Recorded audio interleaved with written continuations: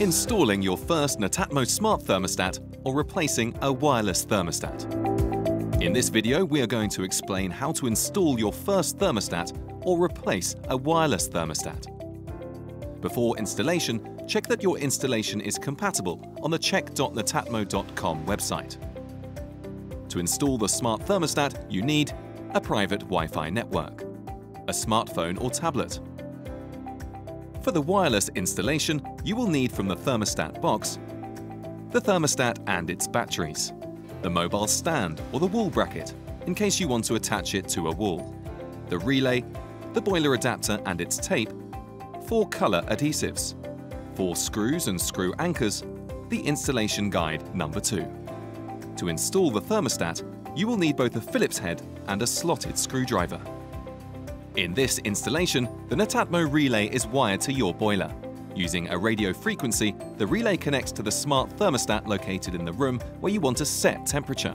The Netatmo relay ensures the Wi-Fi connection to the internet and the ability to remotely control the thermostat from the Netatmo Energy app. Step 1. Install the Netatmo relay.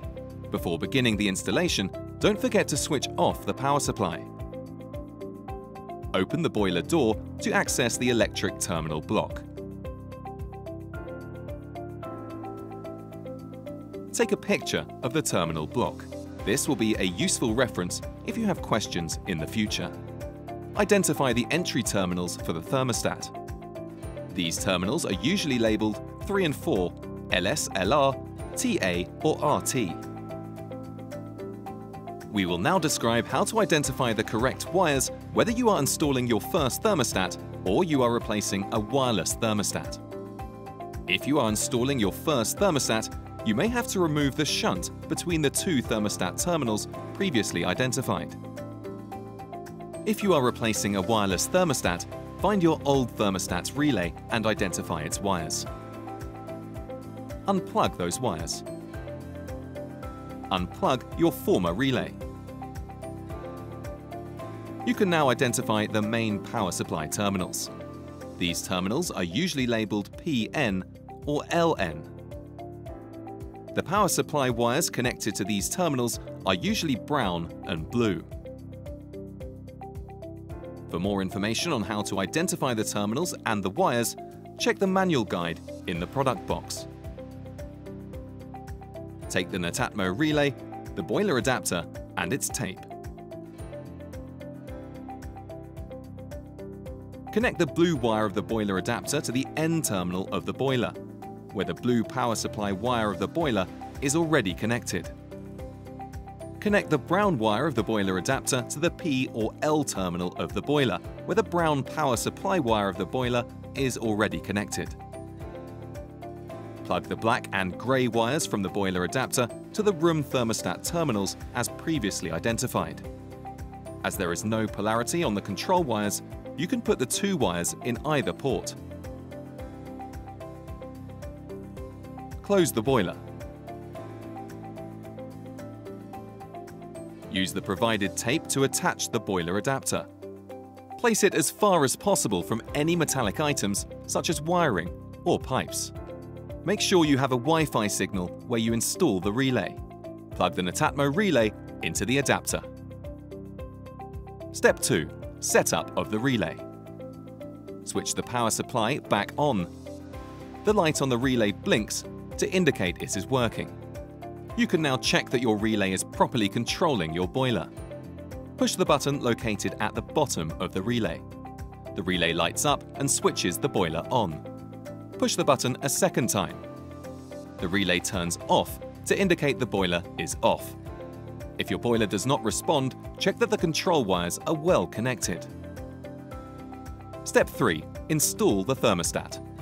Take the Netatmo thermostat and the batteries provided. Insert the batteries into the thermostat. The thermostat displays the start screen and searches for the relay. The thermostat connects to the relay within 30 seconds. Once the thermostat is connected to the relay, the room temperature and the set point temperature appear on the screen. You can customize your smart thermostat with one of the included color adhesives. Choose a color and remove the cover of the adhesive before sticking it to the back of the thermostat. You can choose between two dispositions. Either clip the thermostat on its mobile stand and conveniently place it wherever you want and move it at any time, or attach it to a wall using the wall bracket. The thermostat needs to be placed at least one meter away from any cold or heat source, such as any openings or radiators, and approximately 1.5 meters off the ground. Great! You only have to download the Netatmo Energy app to remotely control your thermostat. Step 4. Download the Netatmo Energy app to control your thermostat from your smartphone. First, download the Netatmo Energy app directly from your smartphone or tablet's app store create an account providing your email address and a password, or simply log in if you already have an Netatmo account. Select the Smart Thermostat option to connect your app with your thermostat and follow the instructions. Answer a few questions in order to create a heating schedule according to your lifestyle. Great! Your Netatmo Smart Thermostat is now ready to use. Complete your installation with Netatmo additional smart radiator valves to take control of your radiators and choose your home temperature room by room.